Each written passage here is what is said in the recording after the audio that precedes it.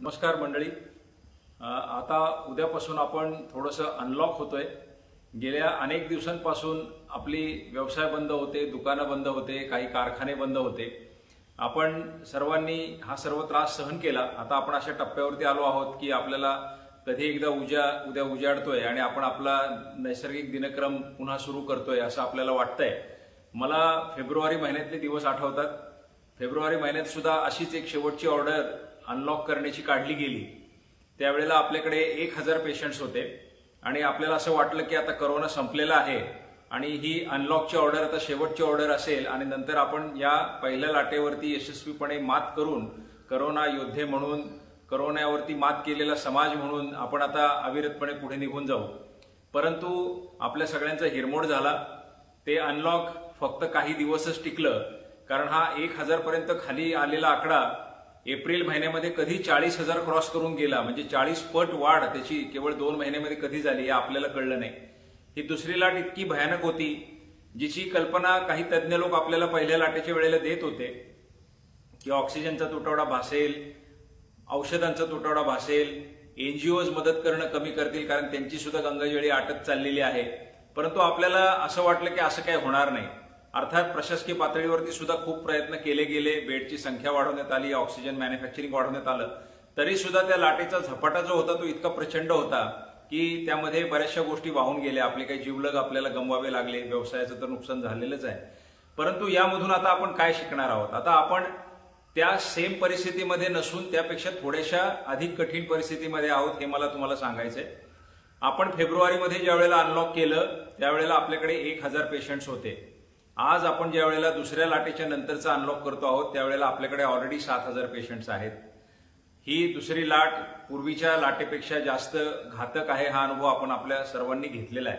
त्यामुळे एक हजारचे जर का चाळीस हजार दोन महिन्यात झाले तर या सात हजारचे दोन हजार दोन दोन महिन्यात किती हजार होऊ शकतात याचा आपल्यालाच अंदाज करावा लागेल.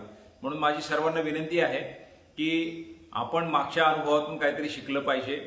आणि हे जर आपण शिकलो नाही तर निसर्ग आपल्याला माफ करणार नाही. पुढच्या लाटेच्या बाबतीमध्ये ज्या शक्यता वर्तवल्या जातात त्याचा मुलांवरती होणारा परिणाम त्याचा वडीलधाऱ्यांवरती होणारा परिणाम ज्यांची इम्युनिटी कमी झालेली आहे त्यांच्यावर होणारा परिणाम हे सगळे तज्ज्ञ चिंतातूर आहेत आज.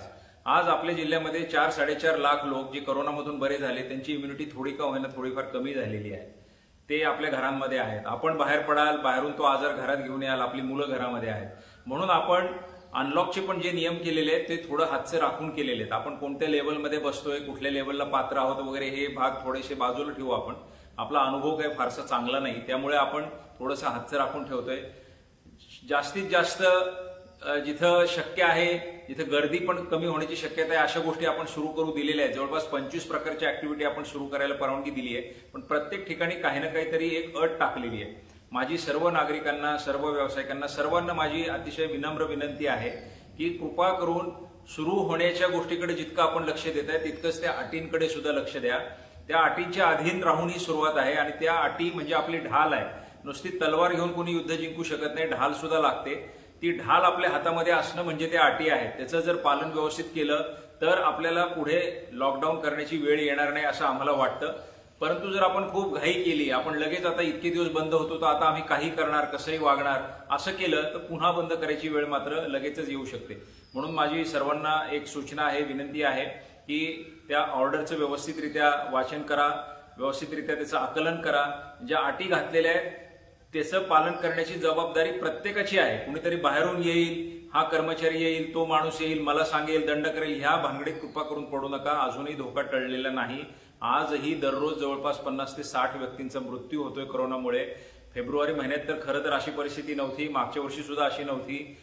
आता तशी परिस्थिती अजूनही आहे त्यामुळे धोका पूर्ण टळलेला नाही. आपण व्यवसाय अर्थचक्र आणि आरोग्यचक्र याचं योग्य बॅलन्स करू सगळ्या अटी पाळू आणि मग एकदा याच्यातून पूर्णपणे मुक्त होऊ अशी मी आपल्या सर्वांना विनंती करतो. धन्यवाद.